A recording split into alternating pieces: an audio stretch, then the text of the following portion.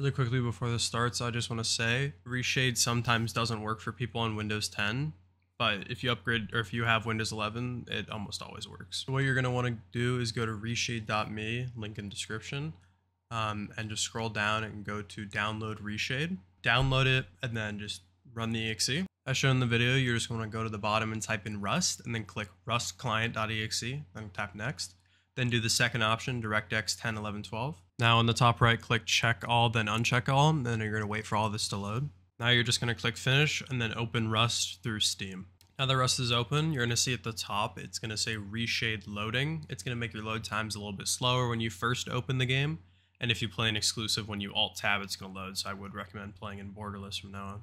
So now that you're on the main screen, you can go ahead and press home, which will open the reshade menu. Click skip uh, tutorial if this is your first time opening and I'm going to leave in my Discord my preset if you just want to directly copy mine.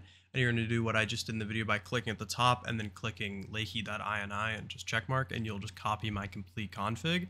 But if you want to do it yourself, um, I will list some effects that you can use, and you can just um, play around with them, see if they look good for your game. And that's pretty much it.